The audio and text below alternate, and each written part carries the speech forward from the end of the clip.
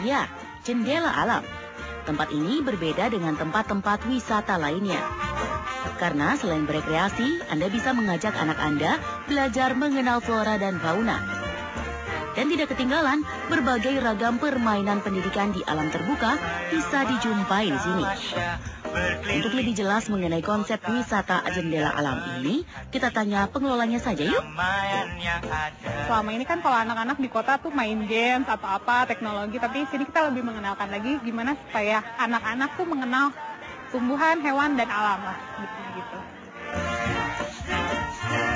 Jendela alam punya beragam koleksi. Salah satunya koleksi unggas-unggas ini.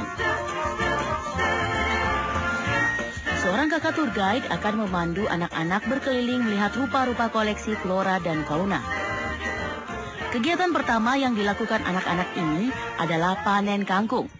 Anak-anak diajarkan cara memetik batang kangkung yang baik dan benar. Hmm, seru ya? Nah, kegiatan yang ini juga nggak kalah seru. Bukan cuma diajarkan mengenal rupa-rupa hewan, tapi anak-anak juga bisa berinteraksi langsung dengan hewan-hewan. Akila, berani nggak sama kuda ya? Berani. Kita kasih makan yuk. Iya dek, kasih makan nih. Ye, Akila berani ya. Jendela alam juga memiliki tanaman hidroponik.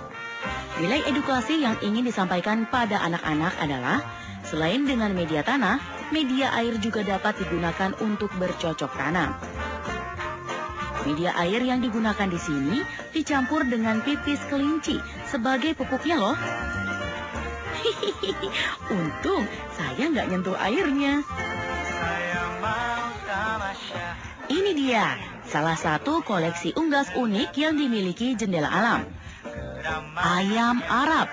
Dinamakan ayam Arab bukan karena berasal dari Arab, tapi lihat deh, jenggernya yang panjang sampai menutupi bagian atas kepala si ayam. Mirip perempuan yang pakai kerudung. Makanya orang-orang menyebutnya ayam Arab. Ada-ada saja ya. Hewan yang satu ini hewan favorit anak-anak. Anak-anak tak ketinggalan memberi makan kelinci-kelinci lucu ini. Alicia ini lagi apain? Lagi ngasih makan kelinci. Kasih makan kelinci, seneng nggak? Terus tadi ngapain aja? Entar aku nangkep ikan. Nangkep ikan. Wah, seru ya. Kasih Aku makan. senang. Seneng ya? Seru banget ya kegiatan anak-anak di jendela alam ini. Kita tanya yuk orang tua anak-anak ini, kenapa sih memilih jendela alam sebagai tempat rekreasi? Bisa anaknya eksplorasinya lebih kan rata-rata kita di Jakarta ya. Jadi kalau bisa yang lain dari biasanya lah ya. Inilah kegiatan yang paling ditunggu-tunggu, menggiring bebek.